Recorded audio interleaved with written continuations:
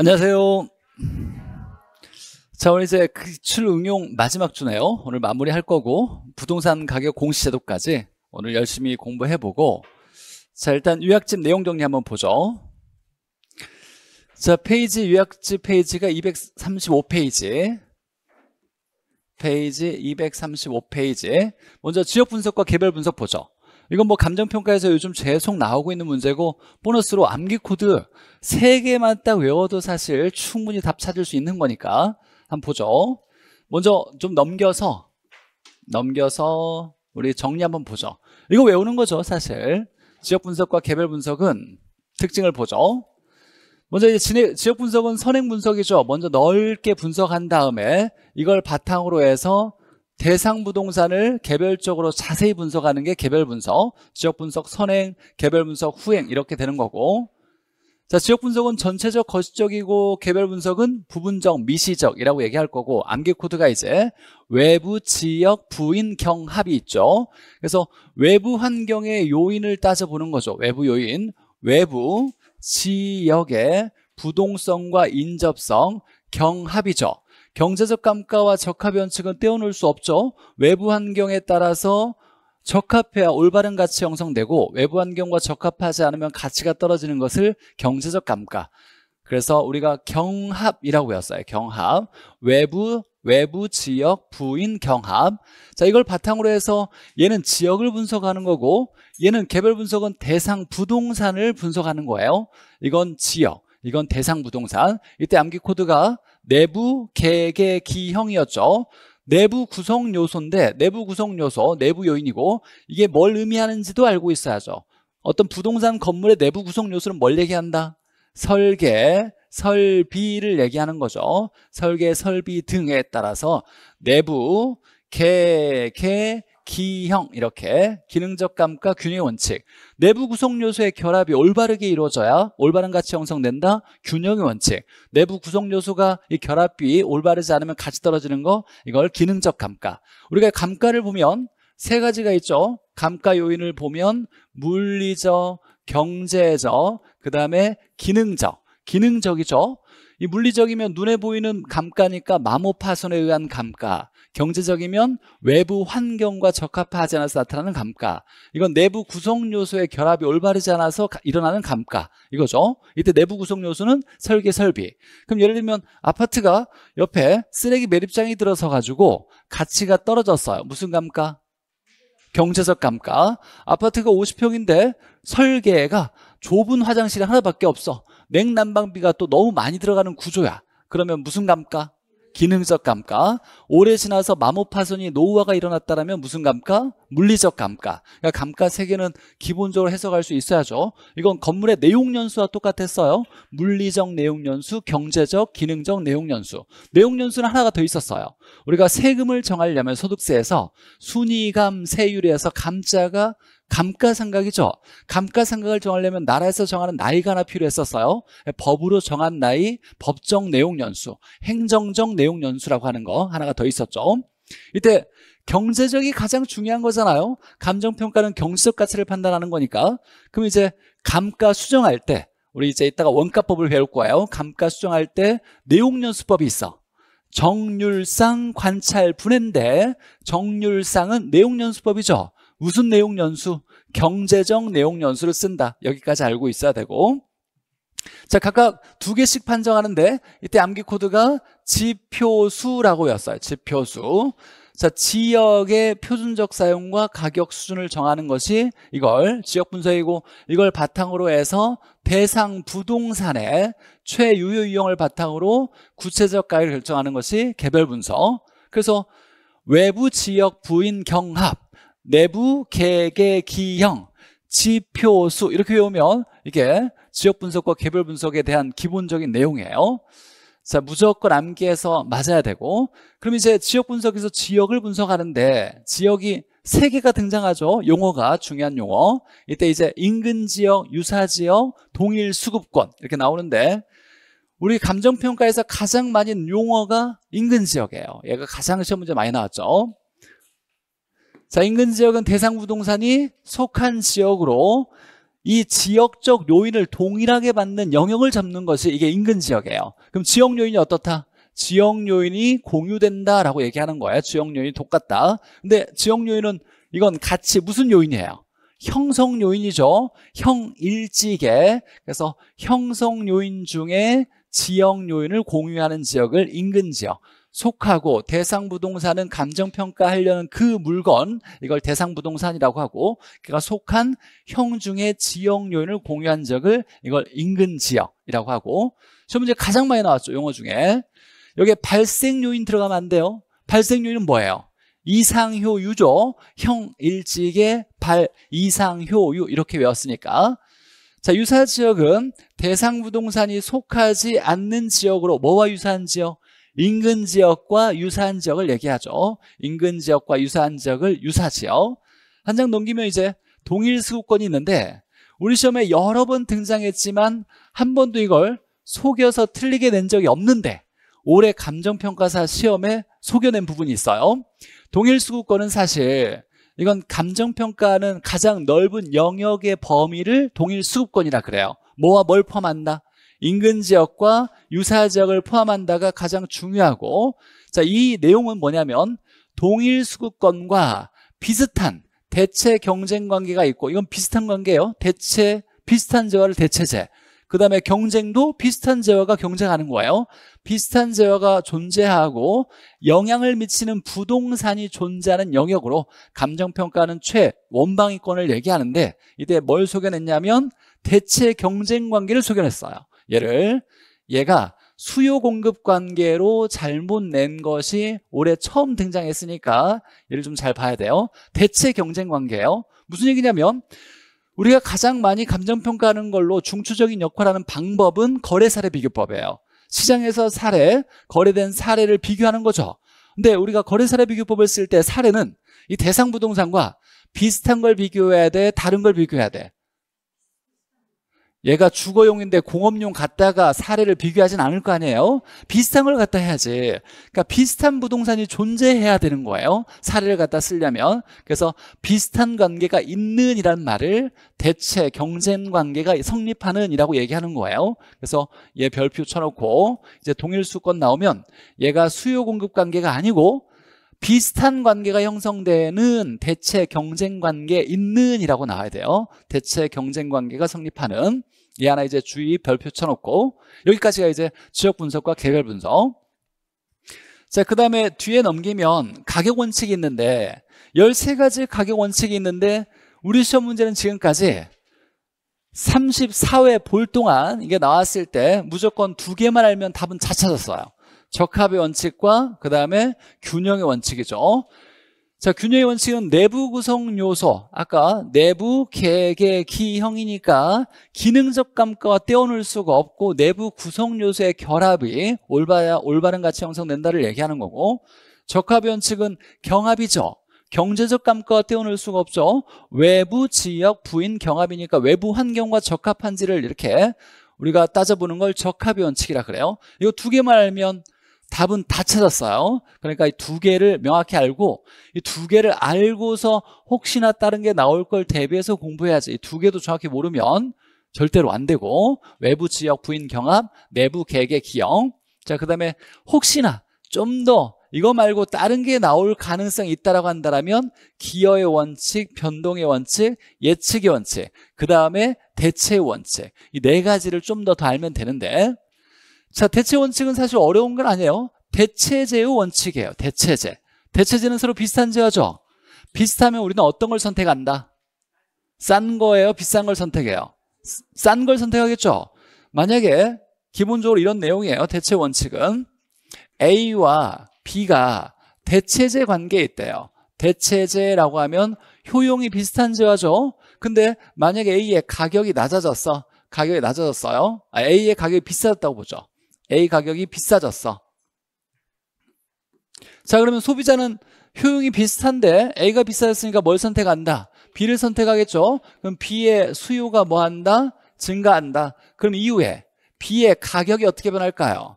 가격이 올라가겠죠. 어디까지 올라갈 거냐라고 할 때 A와 비슷해질 때까지 비슷할 때까지 가격이 올라갈 거예요. 결국 그러면 시장에서는 대체재의 가격은 따로 노는 것이 아니라 서로 뭐 되어 있다? 연관되어 있다. 비슷하게 형성되어 있다를 대체의 원칙이라 그래요. 그러면 거래사례 비교법의 근거가 될 수 있을까요? 그죠? 우리가 사례를 비교할 때 대체재, 비슷한 재화를 비교할 거란 말이에요. 얘가 얼마니까 너도 얼마쯤 하지 않겠어? 라고 얘기하는 거래 사례 비교법뿐만 아니라 모든 재화의 부동산의 가격을 따질 때는 혼자 독립적인 가격을 판단하는 것이 아니라 대체재 가격의 연관성을 충분히 따져봐서 평가해야 된다. 그래서 3방식의 가장 큰 근거가 되는 것이 대체 원칙이에요. 자, 그 다음에 기여의 원칙 보죠. 말 그대로 기여도에 의해서 가격이 결정된다를 얘기하는 거예요. 중요한 건 생산비의 합이 아니다. 생산비의 합이 아니라 기여도에 의해서 결정된다가 기여 원칙이에요. 예를 들면 이런 얘기였죠. 이런 부동산이 있는데 얘가 엘리베이터가 너무 작은 것밖에 없어가지고 엘리베이터 설비죠. 그러면 이 부동산의 가치가 다른 비슷한 부동산에 비해서 가치가 떨어지는 이유는 엘리베이터라는 설비가 이 내부 구성 요소가 균형을 이루지 못했기 때문이에요. 무슨 감가? 어, 무슨 감가? 기능적 감가, 기능적 감가가 일어난 거예요. 자, 그럼 이제 엘리베이터 하나 큰 걸 만들었어. 이 엘리베이터를 만드는데 1억의 생산비가 들었다고 해보죠. 그 전에 얘가 5억이었어. 그러면 얘를 만들면 얘가 단순히 1억이 플러스 돼서 6억이 되는 것이 아니라를 얘기하는 거예요. 다시 얘가 있을 때 감정평가 해보니까 이 부동산의 가치가 8억의 가치가 있다고 인정받았다면 엘리베이터 하나가 기여한 정도가 얼마가 되는 거예요? 3억을 기여한 거예요. 그럼 가치는 얘가 기여한 정도에 의해서 결정되는 거지 단순히 생산비가 1억 들었으니까 1억이 플러스 되는 건 아니다를 얘기하는 거예요. 이게 기여의 원칙. 그러면 추가 투자와 관련돼 있을까요? 엘리베이터를 설치를 할 거냐 말 거냐 추가로 투자를 할 거냐 말거와 관련된 것이 기여의 원칙. 추가 투자와 관련돼 있다라는 거고 얘는 3방식의 근거죠. 3방식의 근거가 되고 거래사례 비교법에 비교법의 근거가 된다라고 얘기할 수 있을 거고. 자 변동의 원칙. 가격은 항상 일정해요 변해요? 변하죠 당연히. 즉 시간이 지남에 따라 지남에 따라서 외부 환경도 변할 거고 내부 구성 요소도 변할 거고 그래서 가격은 변한다요. 이거예요. 그러면 얘가 중요한 이유는 뭐냐면 가격이 변한대. 그럼 감정평가는 가치를 평가하는 거잖아요 그러면 기준 시점이 없는 감정평가가 의미가 있어요 없어요? 없어요. 언제 가치를 평가해서 얼마다라고 정했을 텐데 기준 시점이 확정되지 않으면 가치는 끊임없이 변한 거니까 이 감정평가는 아무런 의미가 없어요. 그럼 감정평가에서 가장 중요한 건 뭐다? 기준 시점이에요. 그래서 기준 시점을 확정하는 게 중요한 이유. 변동의 원칙 때문에 가치는 일정한 게 아니라 끊임없이 변한다를 얘기하는 거예요 자, 예측의 원칙. 자, 우리가 가치를 평가하는데 가치의 정의가 뭐예요? 가치의 정의. 장래, 편익을 현재 값으로 환원한 값이죠. 얘가 가치가 얼마냐를 한다라면 야 돈을 얼마나 벌 수 있는 부동산이야를 따져야 돼요. 맞죠? 얘가 돈, 과거에 돈을 많이 벌었다고 가치가 높은 게 아니라 미래에 돈을 많이 벌 수 있어야 가치가 높아지는 거죠. 언제나 미래 수익을 땡겨와서 현재 값으로 바꾸는 것을 우리가 가치, 수익환원법이라 그래요. 수익환원법의 정의, 장래, 순수익이나 미래 현금 흐름을 환원하거나 할인하여 가격을 정하는 거죠. 이때 이제 땡겨오를 때 매개체 역할을 하는 것이 환원 이율이에요. 장래 수익을 환원율로 매개해서 가치가 얼마다라고 판정하는 거죠. 이게 수익환원법이었어요. 자 그러면 결국 가치를 올바르게 판단하려면 과거 조사를 잘해야 돼. 미래 예측을 잘해야 돼. 미래 예측을 잘해야 돼요. 그래서 가치를 올바르게 판단하려면 미래 미래 수익을 잘 예측을 해야 된다라는 거예요. 미래 수익을 땡겨온 게 가치다 보니까 미래를 예측 잘해야 된다라는 거예요. 자 그러면 얘 가치와 관련돼 있잖아요. 근데 가치로 비롯돼 있는 감정평가 방법이 뭐다? 수익환원법이에요. 그래서 수익환원법의 근거고 토지에서 장래 수익을 보장해 주는 건 무슨 성? 부부 연계 중에 영속성이에요. 영속성. 영속성 때문에 장래 수익이 보장되는 거죠. 영속성, 가치, 수익환원법, 장래 수익 이것들이 다 예측의 원칙과 밀접한 관계가 있고 이로 인해서 중요하다 이렇게 따지는 거예요. 다른 건 답이 될 확률이 거의 0%예요. 그러니까 다른 거 공부할 필요 없고 가장 중요한 건 균형과 적합이 중요하고 나머지는 방금 설명했던 내용만 이해하면 돼. 이해해서 키워드를 찾는 연습을 이제 문제 풀면서 확인해 줄 건데 자 이게 가격 원칙이고 자 그러면 문제 풀어봅시다.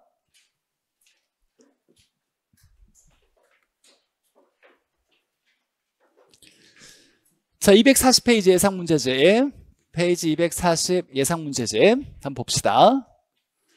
자 문제 보니까 가격 원칙이라고 나왔어요. 가치 원칙에 대해서 가격 원칙, 가치 원칙인데 그러면 1번부터 읽어야 돼요? 아니면 균형과 적합을 찾아야 돼요? 균형과 적합을 찾아서 무조건 답을 먼저 찾아야 돼요. 균형, 적합을 먼저 읽는다. 자, 1번에 보니까 적합이 나왔으니까 맞는지 한번 보죠.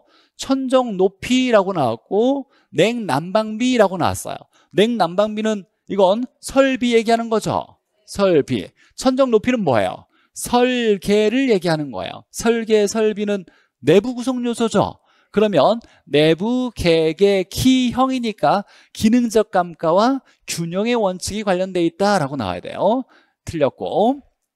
자, 그 다음에 이번에 보니까 여기에 균형이 나왔네요. 그럼 또 따져보죠. 자, 보니까 후보, 후보가 중요한 게 아니라 이렇게 내가 관심 있는 그 지역의 대상을 잡았을 때 후보 지역이다라는 말을 쓰는 거예요. 근데 중요한 건 지역 분석을 통해서 지표 수니까 표준적 사용과 여기 하나 나온다라면 가격 수준을 정하는 거죠.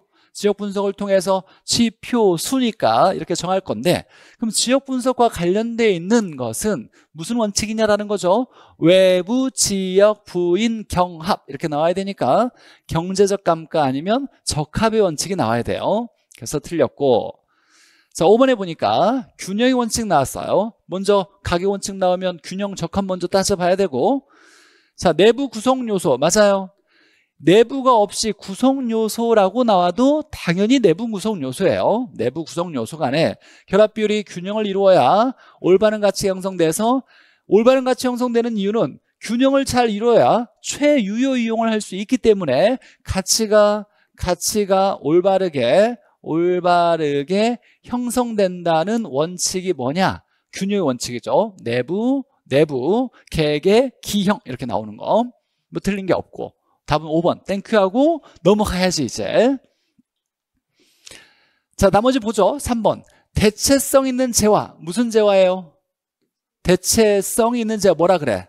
대체제라고 하죠. 대체제. 우리가 효용이 비슷한 재화. 대체제는 서로 가격이 관련되어서 이루어지고 따로 놀지 않고 연관되어 있다는 얘기죠. 무슨 원칙? 대체 원칙. 왜 그러냐라고 할 때 유용성, 효용성이에요. 효용성이 동일할 때 사람들은 뭐 어떤 걸 선택한다? 싼 걸 선택한다. 가격 낮은 걸 선택하니까 두 재화의 가격은 서로 비슷해질 수밖에 없어 라고 얘기하는 거예요. 대체 원칙이라고 나와야 되고 4번에 보니까 자 부동산을 구성하는 각 구성 요소에 기여도에 의해서 가치가 결정된다라고 나왔어요. 기여도. 그래서 추가로 투자를 할 거냐 말 거냐를 결정한 데 쓴대요. 무슨 원칙? 기여의 원칙. 생산비의 합이 아니라 생산비는 1억이 들어가는데 기여 정도가 3억이었다. 그럼 추가로 투자를 해야 하네요. 하겠지. 1억을 들였지만 얘가 1억을 들여서 가치가 3억이 올라간다는 걸 얘기하는 거니까 그럼 추가로 투자를 하겠네. 기여의 원칙이죠.